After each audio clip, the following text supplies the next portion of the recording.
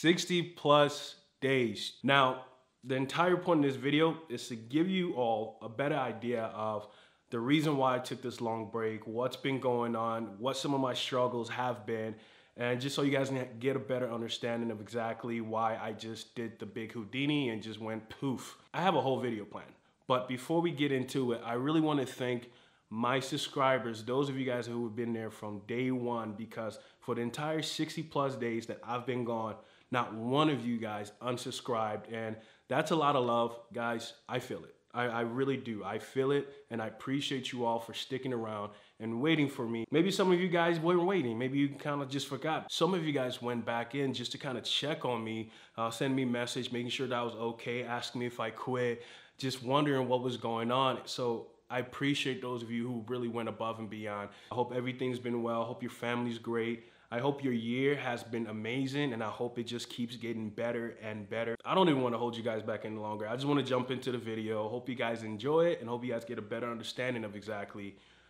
why I've been gone. 60 days, guys. That's crazy. You guys are savage. You y'all are you y'all are just you guys are savage. Enjoy the video. Enjoy the video.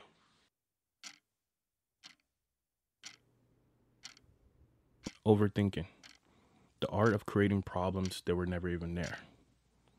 This is a problem that a lot of people have, and sometimes we can't even help it. It's like a virus that sneaks in, settles in the most uncomfortable part of our minds. It's like an itch that you just can't scratch. Now, the crazy thing about an art is it takes time to develop. The one skill set that I never really wanted.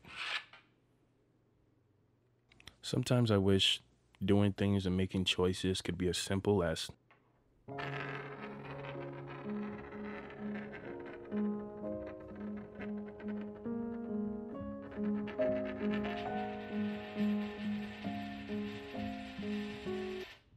but that would just be counterproductive.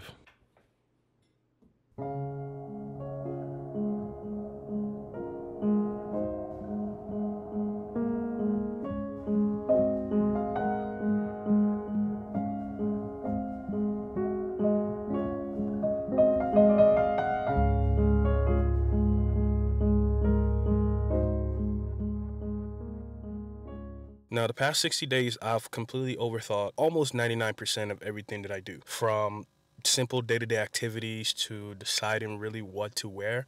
I'll spend maybe minutes at a time really trying to decide if this is great, if it's the best for the occasion. I'll always find something. Now, it's really crazy to think that something so small can be consistently constant to the point where it really just interferes with something that I'm personally passionate about, something that I love, which is making videos, making content. It's crazy, right? I try to distract myself, but I still felt lost and out of touch with myself. That confident side of me that can make a decision in an instant without any regret just felt like he was fading away. Now, this may seem a little bit dramatic, but if I didn't find a solution soon, everything that I've worked for could all end before I even got a chance to start. And so that's exactly what I did. Now, figuring out the initial part was, it was easy.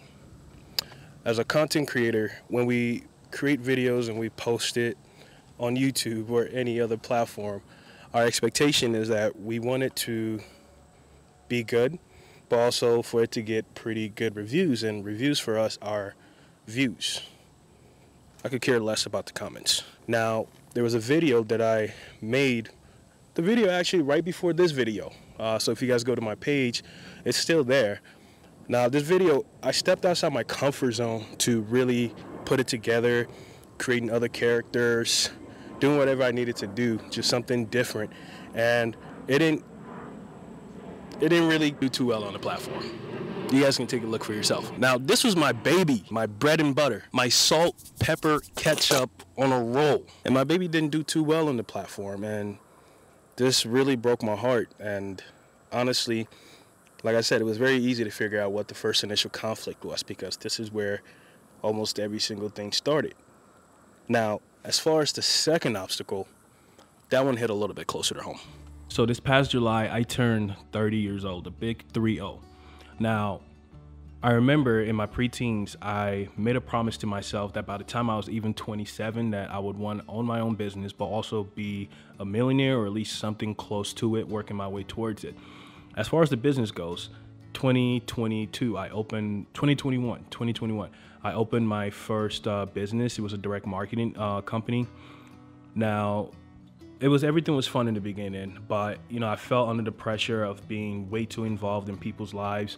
Uh, maybe made some poor financial decisions, and there was a whole lot of other things that went on in the background. So I closed down shop for that. And then in 2023, I started another business when I moved out here to Kansas City. Um, I was making car keys for all types of vehicles. Now, this gig was pretty cool. It was solo gig, but that eventually became what the problem was.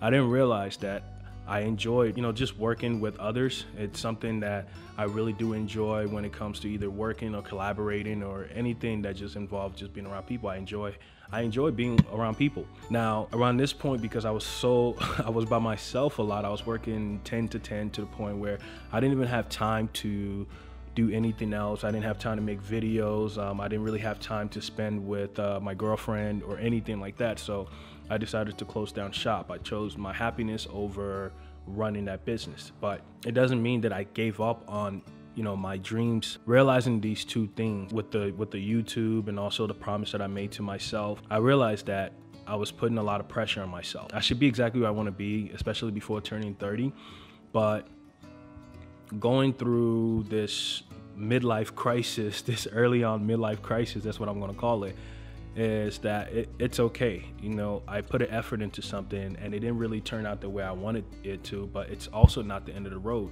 And for you who's watching this video as well, you know, you may be in a similar situation or your circumstances is just maybe completely different.